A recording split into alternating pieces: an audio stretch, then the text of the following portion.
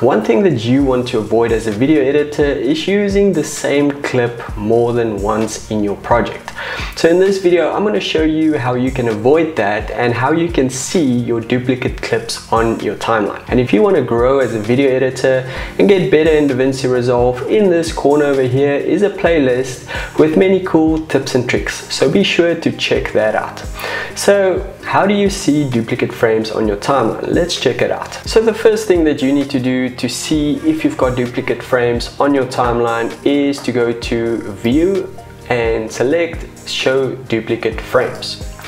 Once that is selected, you can drag any clips of your project onto the timeline and immediately it will show you which clips have already been used on your timeline.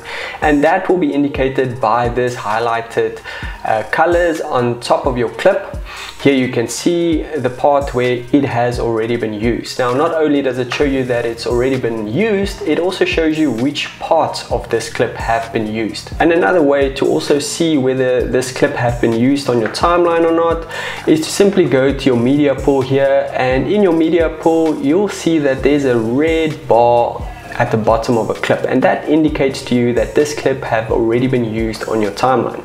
The length of that red clip is showing you what part of that clip has already been used on your timeline. So say that you've got a minute long clip and there's still some really cool content that you can use. You can actually go past that red line over there and just scrub your footage to see if there are parts that you would like to use. And then you could always just drag it onto your timeline and make sure to select the part that you haven't used yet. So guys, I hope that this video helped you. I'll see you in the next one. Cheers.